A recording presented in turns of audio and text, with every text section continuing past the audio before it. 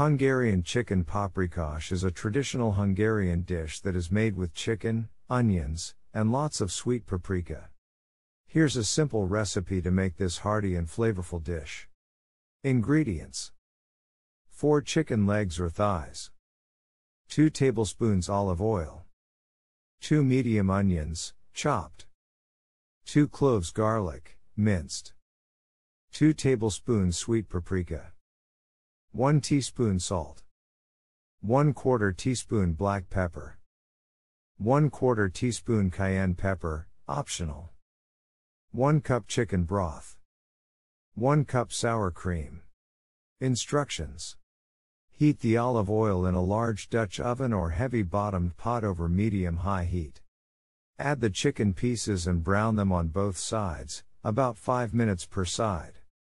Remove the chicken from the pot and set aside. Add the chopped onions to the pot and saute until they are soft and translucent, about 5 minutes.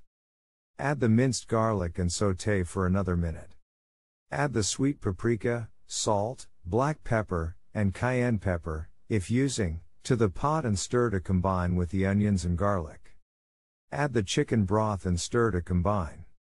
Return the chicken pieces to the pot, spooning some of the sauce over the top of the chicken. Bring the sauce to a simmer and reduce the heat to low.